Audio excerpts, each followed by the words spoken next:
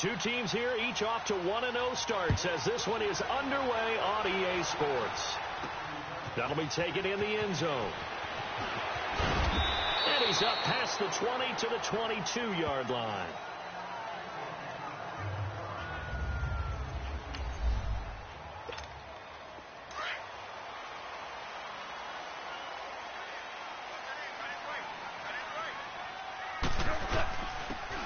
The first carry now for Todd Gurley.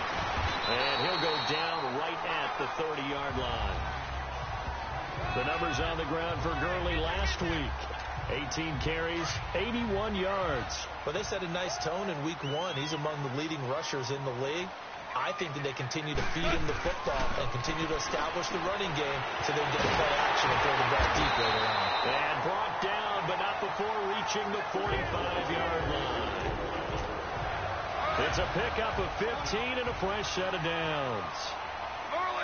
It certainly feels like there are more stars at the tight end position than there were even 10 years ago. And I think it's become more of a glamour position because of the ways it can hurt a defense, and guys want to be involved. They can be in line, close to the line of scrimmage. They can split out like receivers. But hands, route running, speed, and some toughness to go across the middle, you put it all together, you get a heck of a tight end candidate. On second down, here's Forced out to his left. And the open receiver, it's Robert Woods. And he'll go down, but not before getting this inside the 30. The Rams were the highest scoring team in the league last year, and they're on the move early with a first and 10. Goff turns and gives to Gurley. And they do get him down, but not before slip it inside the five-yard line. 25 yards to pick up there, and also a first down. So back-to-back -back big runs, picking apart this defense on the opening drive. I thought this was a passing league. I thought this was the era we were in where the ball was always in the air, right? They didn't get the memo. They didn't get the memo, and I know this to be true. Offensive linemen still, to this day, they want to run the football. They want to fire out and hit people across the line of scrimmage, and they're clearing space. Todd Gurley standing by his lonesome in the backfield here. Second and goal. To throw is gone. And incomplete there. A nice hit. Jars the ball free and brings up third down. Didn't have a receiver open downfield, and as it turned out, couldn't even find his outlet man because of the coverage. It was way too tight. Unable to find anyone open. Third and goal. Gurley. No gain on the play that time. So a big stop, and it's going to leave him with a fourth and goal. Looking at this situation, if you're at the one, the two, maybe you go for it. From here, you kick it. I agree. I think you have to get points in this situation. Fourth down, I don't chance it at all. I put the points on the board and go back and regroup. So an opening drive field goal maybe doesn't whip this crowd into a frenzy, but I think that they will take the early lead. There's no doubt about it. They will always take the early lead, and maybe that celebration comes later if they play well and they can break things open. But right now, this is all about letting the offense just get settled in. Kicking team. And that drives coaches insane, doesn't it? When they see that happen, it just it just doesn't feel right, does it? Plus, you're giving up yardage. So a good field position for the Cardinals as they come up first and 10.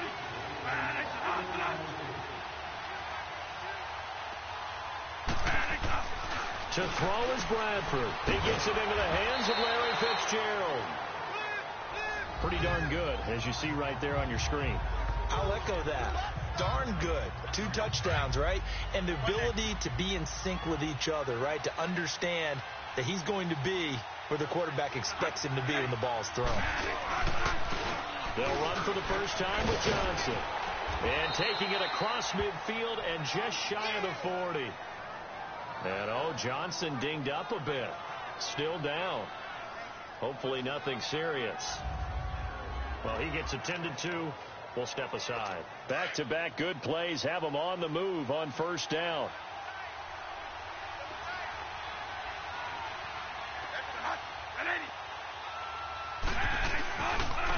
They'll run with a former Tar Heel, T.J. Logan. And he's going to be taken down here with a penalty flag on the field.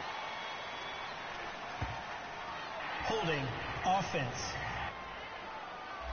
Justin Pugh, the left guard that time with a flag. right there. Stop right there.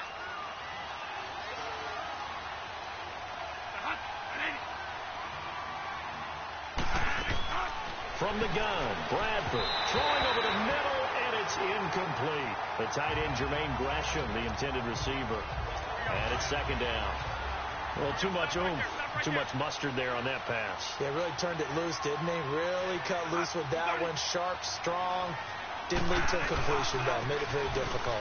On the carry, it's Logan. And he is met in his tracks behind the line of scrimmage. They'll wind up losing three. And now it's third down. I know when I was a kid, I always got real excited when I saw those lateral type runs. But the best backs that made it happen, they put a foot in the ground and just go. That didn't happen there. That play got swallowed up. Now Bradford throwing the out route incomplete. That's Nelson. They get seven there, but it brings up fourth. All that practice time came to fruition on that play. All those timing routes that they work on through training camp, OTAs, mini camp, and just regular season, they got it done on that one. An outcut, ball was delivered, and picked up the completion. Goff will lead the Rams up here first and 10, just shy of the 30. They'll try and start the drive with Gurley.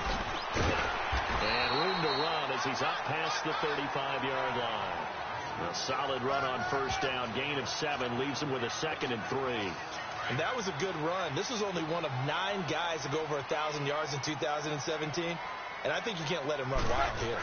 What do you think, 100 yards, the measuring stick? Always. That is the threshold. You want to keep him under that if you want to play good defense. And he'll get up to the 43-yard line. First down, L.A. Goff finding Higbee. That was a route run not just with dexterity, but with intelligence. Found the hole in the zone, made sure the quarterback saw him, and was able to make the sure catch and flip the down marker back to one. It's a six-yard pickup, and it gets him to second and four. Getting the sense, Charles, are going to put a big emphasis this afternoon on the run game. And why not? What we're seeing so far, working pretty well from them. And here's the best part. And Gurley fumbled it. Gurley fumbles the football. It's loose. Wow, that ball gets knocked free, but a teammate comes along and scoops it up. Almost like, it's almost like baseball. Guys at bat, people are on base in scoring position. One guy doesn't get him home. The next guy comes through and picks him up. And avoids the turnover. But he will have a first down here at about the 40. It's a seven-yard gain there, and it's good enough to move the chains. And there was absolutely zero pressure on the quarterback on that play. Third down, and he has all the time in the world to eventually find it. Into heavy traffic, and it's intercepted. Picked off at the 39. And what a return as he brings this all the way back down to the 20-yard line. He had a little bit of